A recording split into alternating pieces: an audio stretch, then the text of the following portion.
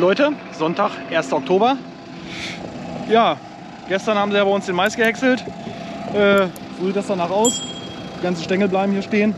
Sie haben schon ziemlich tief geschnitten, wenn man das sieht. Aber äh, ja, wir mulchen das jetzt trotzdem nochmal um. Was wollen wir damit erreichen? Der Maiszünsler, der setzt sich in, die, in den unteren Teil des Stängels und kann da sozusagen überwintern. Gut, der ist hier aufgeknackst, weil er hier drüber gefahren ist. Aber die, die komplett sind, sozusagen, äh, wenn die nicht aufgesplissen sind oder sonst was, dann äh, kann er darüber überwintern und wir ja, fahren darüber, mulchen den einmal, dann sieht das hier so aus. Also da bleibt nicht mehr von viel über. Äh, das wird dann einmal gegrubbert und dann drehen wir hier unseren Weizen und dann ist hier gut. Ja, so sieht das aus. Das war mein Sonntag. Ja, ansonsten gibt es nicht viel zu sagen. Wir sehen uns dann wieder. Alles klar. Bis dann. Ciao. Nochmal zu dem äh, Maiszünsler. Ja, was, äh, das ging gerade vielleicht ein bisschen schnell. Äh, was ist der Maiszünsler? Der Maiszünsler ist, der legt Eier. Es ist wie so eine Motte, Schmetterling, irgendwie sowas. Äh, der legt Eier auf, dem, auf der Unterseite des äh, Maisblattes und ähm, ja, wenn die Larven schlüpfen, fressen die natürlich und äh, gehen in den Stängel immer weiter nach unten und äh, ja, schädigen den dann sozusagen äh, bis zum Totalausfall. Also bei uns ist das auch nicht so schlimm, aber wir machen halt jetzt dieses Mulchen hier, ähm, um das vorzubeugen, dass das nicht so extrem wird. Also es gibt andere Gegenden, wo schon Jahrzehnte länger Mais angebaut wird und ähm, wo der tatsächlich eine große Plage ist und äh, das auch ganz schnell mal zum Totalausfall da kommen kann.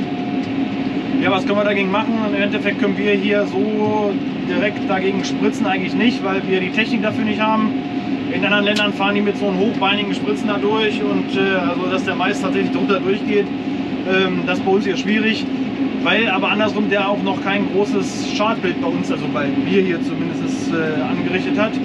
Und, äh, aber eine andere Denke daran ist zum Beispiel mit Drohnen so eine Schlupfwespen äh, auszu auszulegen und ähm, damit dann äh, den Zünsler zu bekämpfen, also die, die, die, die Eier sozusagen, die abgelegt werden, zu bekämpfen. Aber das ist natürlich ein großes Problem, weil man weiß immer nie genau, wann ist der richtige Zeitpunkt. Es ist sehr schwierig herauszufinden, wann der richtige Zeitpunkt ist. Und ähm, da musst du auch einen haben, der so eine Drohne hat, der sowas abwerfen kann. Und ja, ist alles nicht so ganz einfach. Ähm, aber das ist so die Thematik um diesen Maiszützler. Und äh, wie gesagt, man kann das mulchen, man könnte es auch mit der Scheibenegge machen, man könnte es, ich habe schon mal gehört, dass man das walzt, aber äh, da weiß ich nicht, wie gut da die Erfahrungen mit sind, ob dann tatsächlich nach dem Walzen da wirklich alle Stängel aufgesplissen sind, sage ich jetzt mal. Also wir müssen die jetzt nicht abmähen, die können auch so lang bleiben, aber die müssen eben aufgebrochen sein, so dass der Zünsler unten nicht die Möglichkeit hat, da drin zu überwintern. Ähm, genau, das ist so die, die Thematik mit dem äh, Maiszünsler. Ja, also da geht es äh, in manchen anderen Gegenden schon heiß her und äh, wie gesagt bis zum Totalausfall. Ja, so ist das. Alles klar, gut, bis dann, ciao. Moin Leute, heute Samstag, 7. Oktober, glaube ich. Ja, ich bin am Weizendrillen, wie man hier unschwer erkennen kann.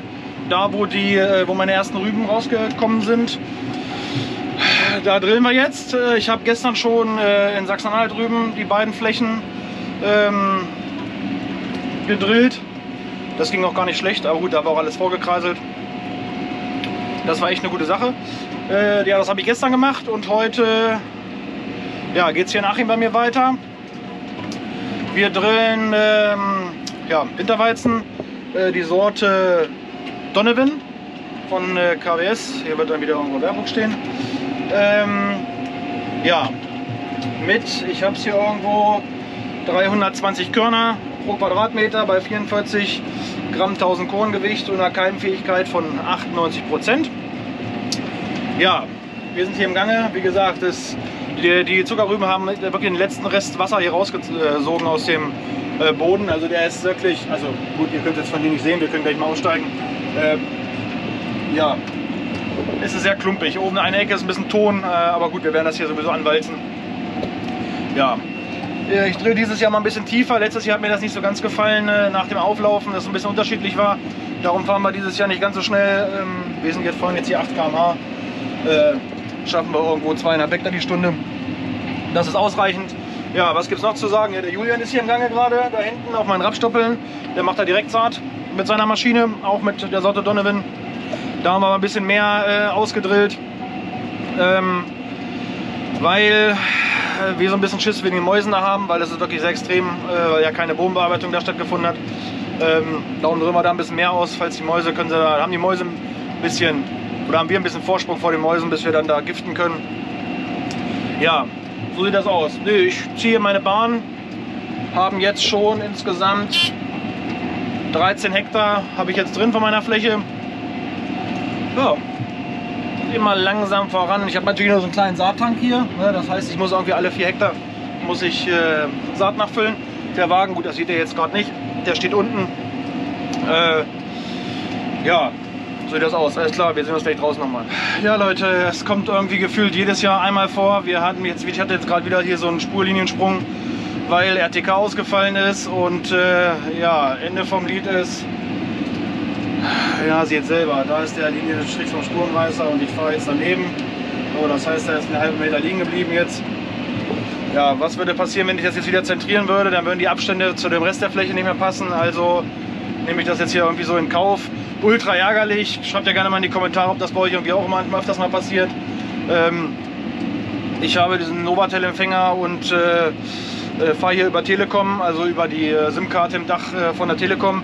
Und wie gesagt, letztes Jahr habe ich es einmal schon gehabt, hat mich ultra geärgert und äh, ja, jetzt hier schon wieder. Eigentlich eine Katastrophe. Ja, keine Ahnung, was man da irgendwie anders machen kann. Weil wie gesagt, der fährt dann, du siehst, das passt nicht und irgendwann nach ein paar Runden sagt er dir dann, oh, wir haben hier eine neue Spur gefunden, die genauer ist als deine, wo du gerade fährst. Und dann kannst du nur die übernehmen sozusagen ähm, oder musste die, eigentlich übernehmen, um den Abstand zu den Fahrgassen dann halt immer weiter überall zu haben. So, ist eigentlich ultra ärgerlich, sage ich ganz ehrlich. Aber es passiert irgendwie komischerweise immer. Oder was ist immer, mindestens einmal im Jahr. Beim Rüben drin war gar nichts. Jetzt beim Weizen drin, ich weiß nicht, ob ich hier, keine Ahnung, ob das die Stücke sind, die hier irgendwie scheiße sind. Wo ich hier Rüben gedrillt habe, war hier gar nichts. Gar keine Probleme. Ob es am Wetter liegt, ich habe wirklich keine, keine Ahnung. Auf jeden Fall war jetzt hier wieder so ein Scheißsprung drin, hier um, was weiß ich, hier 30, 40 Zentimeter. Ihr seht es ja, wo der Spurenreißer läuft da. So. Aber wie gesagt, wenn du das jetzt wegdrücken würdest, du würdest jetzt rüberfahren und da fahren, würde der Abstand nicht mehr passen zu den anderen Fahrgassen und das ist ja eigentlich das, was wir wollen. Äh, dass wir hundertprozentig 27 Meter von Fahrgasse zu Fahrgasse haben, ohne da äh, viel sag schon, ähm, Überlappung mit Pflanzenschutzmitteln zu haben, weil das sehr teuer ist, auch mit dem Dünger. Äh, darum müssen wir das eingehen. Und ich weiß auch noch nicht, sage ich euch ganz ehrlich, ob ich hier die 30, 40 cm nochmal überdrille oder nicht. Ähm, ja, ist ultra ärgerlich, wie gesagt. Ja, nochmal zu zeigen, ich weiß nicht, ob ihr es jetzt seht, da hinten steht der Saatwagen, der kleine Deutz, ein 8 Tonner. Ja, wir werden die Saat heute auch wahrscheinlich leer drillen, komplett. Und äh, ja, dann werde ich die Walze anbauen und dann geht's Walzen los weil heute am Wochenende kriegen wir keine Saat. Mein Onkel holt die erst wieder am äh, Montag oder ist ja egal, wann er so holt, aber am besten nicht, wenn es regnet. Irgendwie Montag, Dienstag, weil ja, nächstes Wochenende soll schon wieder ein bisschen regnen. Wie viel auch immer, weiß ich nicht genau. Ja, so der Stand. Wie gesagt, ich bin schon wieder hier ultra ärgerlich, dass das hier nicht so richtig hinhaut, wie ich mir das vorstelle. Man bezahlt da echt viel Geld für und äh, wir haben ja auch schon alles ausprobiert. Wir haben ja letztes Jahr den äh, die alte Karte, die ich drin hatte, rausgenommen. Das war so eine Billo-Karte vom Discounter und habe jetzt eine teure Telekom-Karte drin äh, und äh, anscheinend funktioniert das immer noch nicht. Also ich weiß nicht, an was das jetzt tatsächlich liegt. Ähm, ja, ich finde es wirklich ärgerlich. Naja, gut. Ja, wir gucken uns das gleich draußen nochmal an. Ciao. Moin Leute. Samstag, der 21. Oktober lange nichts von mir gehört.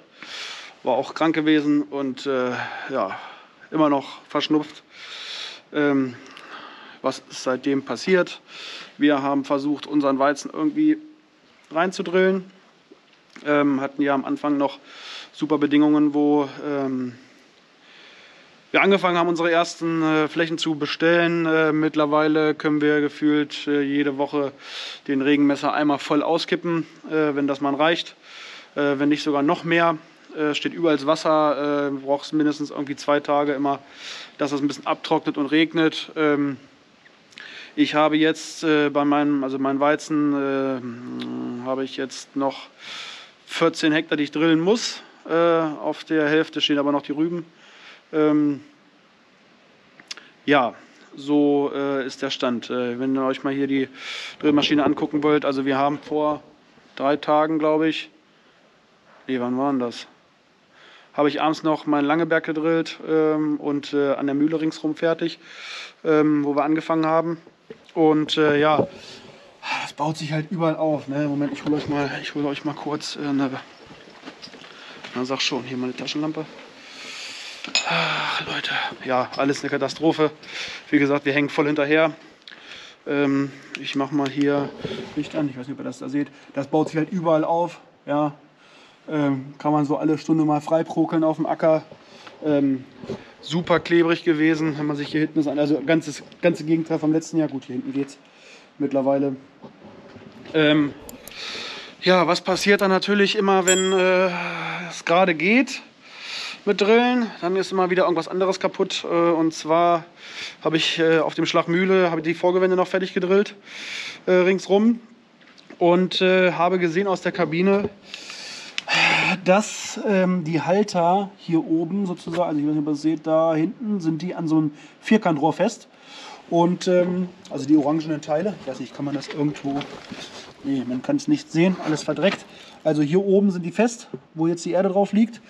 Und äh, da waren zwei Schare hier. Da war, äh, waren die Klammern gebrochen und die hangen schon auf halb acht. So konnte ich natürlich nicht wirklich mit weiter drin oder hätte ich vielleicht machen können. Aber ist die Frage, ob ich sie dann nicht ganz verliere und dann noch mehr kaputt geht. Also haben wir dann in der Abend aufgehört. Abends noch ausgebaut und ähm, nächsten Tag schweißen lassen und äh, wieder eingebaut und dann an dem Abend gleich noch die äh, 6 Hektar Langeberg reingedrillt. Das war fertig und dann kam am nächsten Tag schon wieder Vollstoffregen.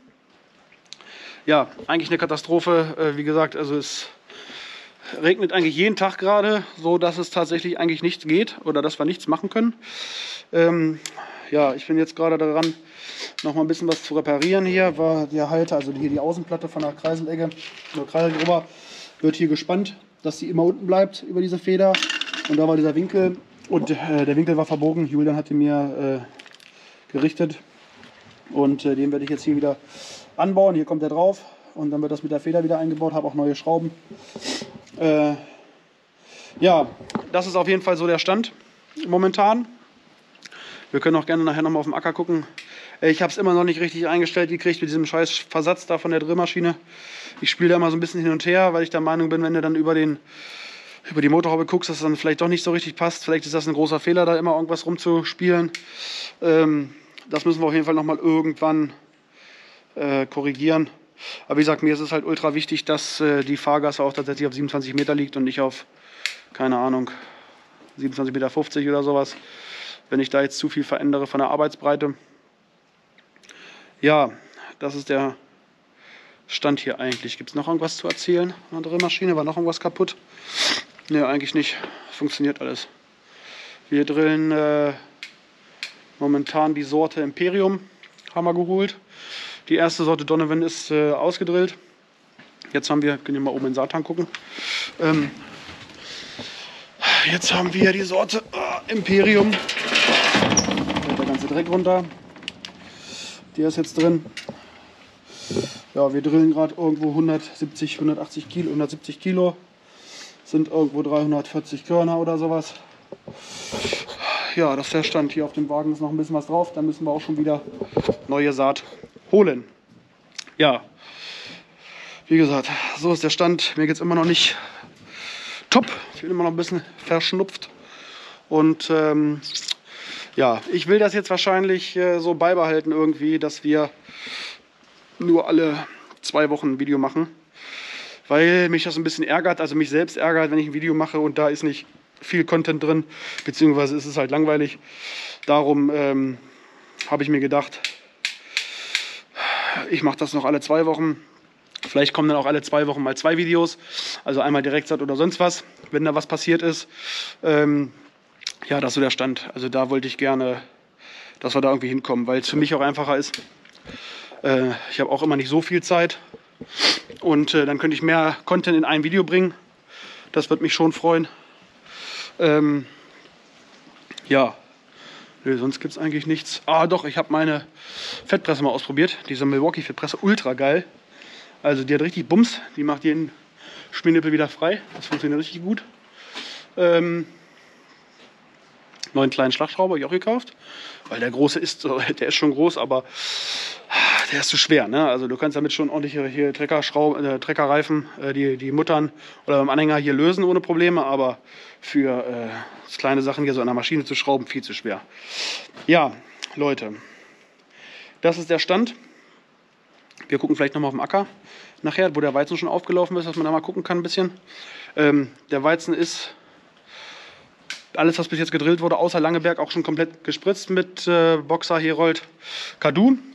Und äh, also das ist alles fertig für dieses Jahr. Wie gesagt, wir müssen jetzt nur noch irgendwie auf die letzten 14 Hektar dann draufkommen, beziehungsweise da muss erstmal der Rüben oder irgendwie die Rüben rauskriegen. Und dann äh, kann das weitergehen. Alles klar, bis denn. Ciao. Moin Leute, Sonntag, der 22. Oktober bin ich der Meinung. Jawohl. Ja, ich stehe auf dem Raps. Der hat ja zum Glück noch mal ein bisschen gewachsen, aber äh, ja, hier steht im Endeffekt alles so halb unter Wasser, wenn man mal hier guckt. Ähm,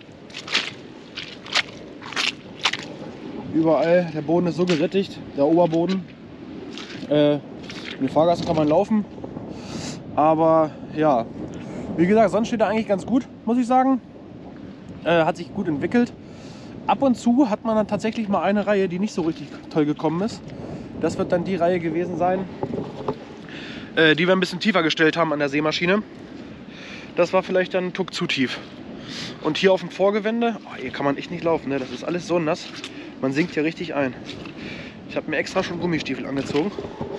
Hier auf dem Vorgewende sieht das auch merkwürdig aus. Entweder sind tatsächlich Verdichtungen oder es lag einfach zu, in die Richtung sieht es besser aus, es lag einfach zu grob. Das kann natürlich auch sein. Ja, ja, wie gesagt, äh, das Gras ist jetzt vor zwei Wochen gespritzt hier. Und äh, ja, so sieht das aus. Wir gucken jetzt noch mal. Wir gucken jetzt noch mal zum äh, Weizen, den ich gedrillt habe. Und äh, ja, alles klar. Bis gleich. Ciao. So, wir sind jetzt noch mal bei mir auf dem Winterweizen, den wir gedrillt haben. Das ist auch noch die Sorte Donovan. Vorgewinde ist äh, Jonte. Ja, und äh, den habe ich gedrillt, glaube ich, vor knapp zwei Wochen, wo es noch relativ trocken war und auch gleich angewalzt. Und äh, ja, weiß nicht, ob man sieht auf der Kamera. Auf den Drohnenvideos, die ich gemacht habe, da ich kann die ja einfügen, aber da sieht man nicht wirklich was, ähm, weil er noch zu klein ist. Ja, wie gesagt, äh, der ist noch gut aufgelaufen. Ähm, hatte er danach auch ordentlich Regen gehabt. Äh, wie gesagt, gefühlt lernen wir eben gerade jede Woche mindestens ein Regenmesser aus.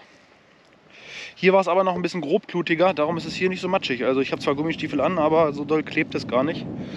Auf dem Vorgewende, das was ich später gedrillt habe, da äh, versinkt man fast. Ja. Und äh, dann habe ich erzählt, dass meine Drillmaschine, dass da die Schare abgebrochen waren oder locker waren und das sieht man natürlich jetzt hier. Ich weiß nicht, ob ihr es seht. Hier, das müssten, oh, ich weiß nicht, ob ihr das erkennen könnt hier. Das müssten zwei Schare sein, die müssten eigentlich weiter auseinander sein. Und ah, auf dieser Seite auch hier, diese Reihe, die müsste eigentlich auch, da müsste weiter versetzt sein. Das sind zwei Reihen auf einer, auf einer Reihe sozusagen gerade. Ja, nee, das habe ich ja repariert dann und äh, hoffe, dass das jetzt funktioniert. Ja, nee, so sieht das aus immer wieder richtig Regen, überall steht Wasser, wir kommen nicht richtig voran. Äh, ich muss ja zum Glück sagen, ich habe ja zum Glück zeitig angefangen. Ähm, die ganzen Flächen in Sachsen-Anhalt sind fertig und äh, also fertig gedrillt komplett. Da müsste ich jetzt nur noch mal hin und äh, Steine sammeln. Das ist alles gespritzt, hier ist auch alles gespritzt schon. Äh, Boxer Kadu Herold, ist alles schon drauf, ist alles fertig. Ja, jetzt warten wir im Endeffekt drauf, dass es irgendwie wieder abtrocknet. Ähm, aber heute Nachmittag soll es schon wieder regnen. Die ganze Woche soll wieder schlecht werden. Und vielleicht ab nächsten Wochenende soll das Wetter wieder umschlagen. Vielleicht. Aber man kann sich da irgendwie fünf verschiedene Wetterberichte angucken und äh, jeder sagt was anderes. Aber man muss ja irgendwie auch mal ein bisschen hoffen. Ja, ja hier sieht man, bis hier habe ich gedrillt. Dann das Vorgewende später, weil das war dann irgendwann, glaube ich, Samstag oder Sonntag. Und äh, dann war mein Saatanhänger leer und äh, keine Saat gekriegt. Ja. Und dann habe ich, äh, wo es dann wieder ging, sozusagen ähm, hier angefangen. Wenn man sich mal die erste Bahn anguckt. Also hier sieht das super aus alles, gar keine Frage, das ging dann auch. Aber wenn man jetzt hier guckt, ne, das klebt hier schon ordentlich. Und die erste Bahn hier hinter den Bäumen, da habe ich die Kreisleger auch ein bisschen tief gehabt. Da sah das dann so aus, ne? Die ersten 20 Meter hier bis hier, dann wurde es da hinten besser. Gut, muss man wahrscheinlich irgendwie dieses Jahr durch. Anscheinend müssen wir dieses Jahr unseren Weizen reinschmieren. Keine Ahnung. Bei Weizen ist das alles nicht so schlimm. Äh, da kommt auf jeden Fall, wird wahrscheinlich Ertragseinbußen haben. Mit Gerste könnte man das zum Beispiel gar nicht machen. Die mag das überhaupt nicht, wenn man die irgendwie ins Nasse schmiert. Und äh, ja, hier unten in der Ecke, ne, wo wir immer umdrehen, ja, da ist es halt. Ich weiß nicht, ob ihr es hört. Ja, da ist es halt ultra nass. So. Das sind die Verdichtungen in den Ecken. Wenn man rangiert, wenn man in die Ecke drillt, in die Ecke grubbert, wieder umdreht. Das ist leider so. Ja, Leute, so sieht's aus. Nochmal ein Blick von hier. Schön bis da hinten hin. Wie gesagt, das ist gedrillt. Mir hat, ich habe jetzt nur noch ähm, die beiden Flächen, wo der Mais war noch, Seinstädter und äh, große äh, Mesche. Da muss noch Weizen gedrillt werden. Das könnte ich jetzt theoretisch auch machen. Wenn es abgetrocknet ist, dann müsste einmal gegrubbert werden. Wir haben zum Glück nicht gegrubbert. Ähm, weil wenn das jetzt aufgerissen wäre richtig, dann würde natürlich das Wasser vom Regen richtig reinziehen in die, in die, äh, in den Boden. Und äh, ja, das wird irgendwie machen, wenn es abgetrocknet ist. Müssen wir probieren, da irgendwie drauf zu kommen, dass wir das gedrillt kriegen. Und dann kann man das von hier sehen. Ja, da hinten, da hinten irgendwo habe ich noch äh, zwei Pläne Rüben. Auf den einen kommt Mais nächstes Jahr, da machen wir dieses Jahr gar nichts mehr. Und auf den anderen, da muss noch Weizen gedrillt werden. Also sind jetzt bei mir noch irgendwo, das habe ich gesagt, 14 Hektar, die ich drillen muss. Das ist wirklich noch überschaubar, sage ich jetzt einfach mal, weil wenn ich mir andere Betriebe angucke, die fast noch gar nicht angefangen haben, dann äh, ja, habe ich noch Glück gehabt. Und äh, wenn zum Schluss vier Hektar überbleiben, dann drehe ich da Sommerweizen und dann, oder im schlimmsten Fall kommt dann da Mais hin oder sowas, keine Ahnung. Ja, nee, so ist der Stand. Wir haben ja die, die Hauptsorte, die wir dieses Jahr hatten, ist äh, Donovan. Äh, weil er mir letztes Jahr super gut gefallen hat, diese, diese Ernte super gut gefallen hat, äh, von der Qualität und auch vom Ertrag. Dann haben wir Jonte mit drin, mit zwei Tonnen, die drillen wir eben gerade. Und ähm, dann haben wir zum Schluss nochmal Asuri, äh, den wollen wir ein bisschen später drillen oder zum Schluss jetzt mit drillen, weil letztes Jahr haben wir den als erstes gedrillt und dann war ja die Ernte, die sich so verzögert hat und äh, dann ist halt ausgefallen ne? und das war natürlich ne, sechs. Ja, so sieht das aus, das ist so der Plan. Gucken, ob der aufgeht. Ähm, Gibt es noch irgendwas zu sagen? Ja, ich müsste eigentlich mal Mäuse giften, mal über den Acker laufen, beim Raps da hinten auf jeden Fall. Ähm, ja, also wir sind jetzt gerade hier ne, und in dem Clip davor waren wir da hinten, da wo die Büsche sind, auf dem Raps. Äh, da habe ich auch schon zwei, drei Löcher gefunden, da muss ich auf jeden Fall mal drauf. Und ähm, ja, das ist so der Stand. Wir hoffen, wie gesagt, dass es irgendwie trockener wird, weil ja, es, die Sonnenstunden werden weniger, das heißt, es trocknet äh, weniger ab. Klar, der Wind, hilft natürlich, wenn es richtig schön stürmisch ist, aber die Temperaturen sollen auch runtergehen jetzt. Und dann müssen wir gucken, ne, was da Phase ist. Und im schlimmsten Fall müssen wir dann halt bei Frost durchreißen und dann irgendwie dann da reindrillen. Andere Idee hätte ich da nicht. Ihr könnt ja gerne mal in die Kommentare schreiben, wie es bei euch aussieht gerade mit der Aussaat, ob das alles sich so ein bisschen verzögert wie bei mir. Wie gesagt, bei uns alles schwere Böden hier, dunkle, schwere Böden. Äh, bei Julian zum Beispiel jetzt hier ein paar Kilometer weiter, ähm, der hat da viel äh, Kalksandstein oder äh, äh, Mergelböden. da ist halt, gestern war da schon grau oben drauf, ne? aber er hat gesagt, das kannst du trotzdem vergessen, äh, da unten drunter ist wie Katzenscheiße, richtig nass. Ja, nee, das ist so der Stand. Wir müssen jetzt abwarten einfach, was passiert äh, mit dem Wetter und ähm, ja, dann muss es dann halt irgendwann nächste Woche losgehen oder sowas, keine Ahnung. Äh, wir leben nun mal mit der Natur oder arbeiten mit der Natur. Ähm, das müssen wir halt einfach in Kauf nehmen. Äh, Regen war natürlich super für die Zuckerrüben und für den Mais. Das ist einfach so. Jetzt könnt ihr eigentlich mal kurz aufhören, dass, es, äh, dass wir unsere, unsere Saat in die Erde kriegen. Aber ja, ich will nicht großartig meckern. Wie gesagt, was mir super gut gefällt, gehört jetzt nicht in diesen Vlog eigentlich rein. Also ich nehme gerade zwei Vlogs gleichzeitig auf, äh, den Direktsaat-Vlog und äh, diesen jetzt hier. Also falls euch dieses Thema Direktsaat auch interessiert, könnt ihr da gerne den anderen Vlog, der wahrscheinlich gleichzeitig rauskommt, euch auch noch angucken. Ähm, ja, das war, glaube ich, die beste Entscheidung, die ich gemacht habe dieses Jahr, dann meinen Weizen direkt in die Rapsstoppel zu drillen. Ne? Also ich fand es super geil. Also ich war da gerade drauf. Könnt ihr ja gerne in einem anderen äh, Video euch mal angucken. Könnt ihr auch gerne liken und einen, einen Kommentar da lassen, wie ihr das findet. Ja, wie gesagt, nächstes Jahr wahrscheinlich mein Raps. Ähm, der kommt nach Osterwieck, also nach Sachsen-Anhalt, die beiden Flächen. Immer trockener Standort, äh, ja, Wasser fehlt halt oft und ähm, da bin ich tatsächlich am überlegen, nächstes Jahr äh, den Raps da in Direktsaat zu drillen um das einfach mal auszuprobieren. Wie gesagt, Julian macht das schon zum zweiten Jahr und der Raps sieht einfach Bombe aus. Und ja, eigentlich wäre man schon blöd, wenn man es nicht machen würde. Äh, weil der Tobias mit seiner Tempo, der kann, könnte das auch. Der wird da der Schadruck höher gesetzt und dann kann er in die Stoppeln da direkt reinschlitzen. Und äh, ja, da müssen wir dann gucken, was passiert. Ja, am besten ein bisschen früher, so weiß ich nicht, 15., 20. August, ähm, wenn wir das schaffen ja, nee, ansonsten gibt es nichts. Wie gesagt, heute eigentlich wieder so ein bisschen Kaiserwetter. Gut, die Sonne ist gerade weg. Äh, das ist das beste Beispiel dafür, dass das Wetter richtig wechselhaft ist eben.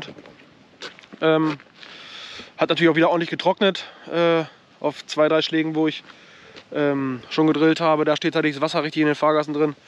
Ähm, ja, gut, nee, das soll es zu diesem Vlog eigentlich gewesen sein. Äh, hat sich alles ein bisschen dolle hingezogen, weil ich krank war zwischendurch und äh, ja, aber es passt jetzt ein bisschen mehr, weil ich ein bisschen mehr Zeit hatte, was aufzunehmen in diesem Vlog und äh, ich finde das eigentlich ganz cool und würde das eigentlich gerne so beibehalten, dass vielleicht so erst so alle zwei Wochen ein Vlog kommt. Könnt ihr ja mal in die Kommentare schreiben, wie ihr das findet. Ähm, weil ich finde es halt scheiße, wenn ich selber einen Vlog mache und der Vlog mir selbst nicht gefällt, weil einfach zu wenig drin ist und ich gezwungen bin, jede Woche da einen Vlog zu drehen. Das finde ich scheiße. Darum äh, werden wahrscheinlich jetzt in Zukunft oder nicht wahrscheinlich, werden, werden jetzt in Zukunft die Vlogs äh, alle zwei Wochen kommen, zwei Wochen Sonntag. Ähm, weil er einfach mehr reinpasst und äh, ja, ich muss mir nicht da so einen Stress machen immer, ähm, das alles noch fertig zu schneiden und noch genug irgendwie aufzunehmen und äh, ja, das ist auf jeden Fall der Stand. Ja, gut. Ihr liked den Kanal, ihr teilt das Video mit euren Freunden, ihr kommentiert, ihr liked es. Glocke aktivieren, äh, ihr wisst Bescheid, wie das geht und dann äh, ja, sehen wir uns beim nächsten Mal wieder, wenn wir vielleicht irgendwas machen können auf dem Acker. Ne? Alles klar, bis dann, haut rein, ciao.